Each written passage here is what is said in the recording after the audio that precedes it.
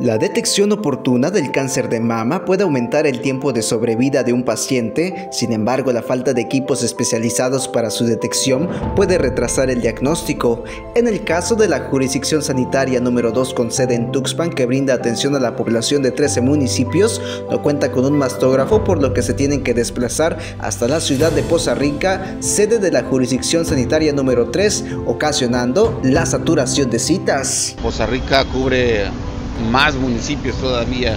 Nosotros tenemos a cargo 13 municipios y todos los tendría que ver Poza Rica.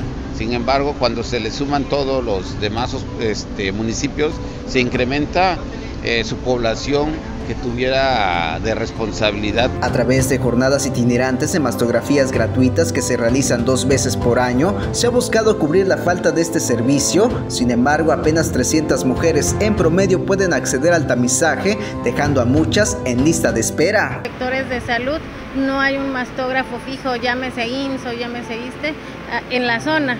Entonces, pues nos ayuda, la verdad, para hacer una detección oportuna. Entonces, si nos, se nos dificulta que todas las llenen los cupos, pues todavía nos quedamos más cortos por la cantidad de población. Es a partir de los 40 años de edad que se debe realizar una mastografía anualmente. El costo por una mastografía de forma particular es de alrededor de mil pesos, un costo que no es accesible para todos. Bastante, bastante que nos ayude porque pues económicamente ya ve que luego a veces no hay pues a nosotros nos beneficia mucho, gracias a Dios, que nos mandan, porque pues es un apoyo muy grande que nos dan para nosotros las mujeres.